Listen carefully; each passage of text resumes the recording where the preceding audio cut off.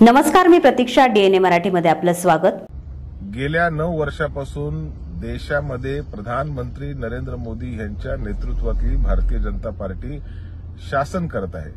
आणि ह्या नऊ वर्षामध्ये देशातले अनेक प्रश्न मग ते महागाई असेल बेरोजगारी असेल शेतमालाला भाव असेल या अनेक प्रश्नांवर सपशेल फेल झालेली भारतीय जनता पार्टीचं सरकार हे दोन हजार चोवीसच्या सार्वत्रिक निवडणुकीमध्ये निवडून येणार नाही.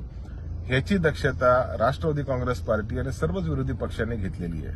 कर्नाटकाच्या पराभवानंतर आरएसएसच्या मुखपत्रक द ऑर्गनायझरमध्ये असं म्हटलेलं आहे की आता दोन हजार चोवीसच्या सार्वत्रिक निवडणुकीसाठी पंतप्रधान नरेंद्र मोदी यांचा करिश्मा आणि हिंदुत्व हे मुद्दे चालणार नाही स्थानिक प्रश्न घेऊन भारतीय जनता पार्टीनं लोकांपुढे जावं लागेल हीच भूमिका आतापर्यंत आम्ही सांगत होतो आता आर एस एसने देखील भारतीय जनता पार्टीचे कान टोचल्याचे आपल्याला पाहायला मिळतं.